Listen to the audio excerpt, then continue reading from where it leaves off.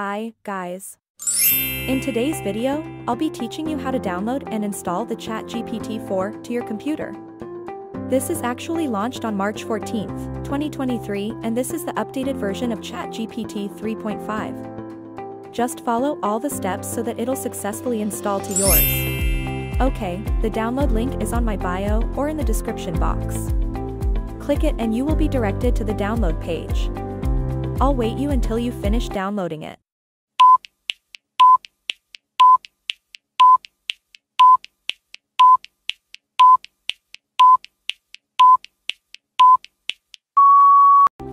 Okay, the first step is go to your download folder, just click the Chat GPT application and right click on it or press Shift plus F10 if you don't have an application key. In my case, since I don't have an application key, I'll hit Shift plus F10. Then, click the WinRAR icon and click it or just press the right arrow and click Extract to GPT-4. Upon entering the application, it'll ask a password. Just type 888 for it to be extracted.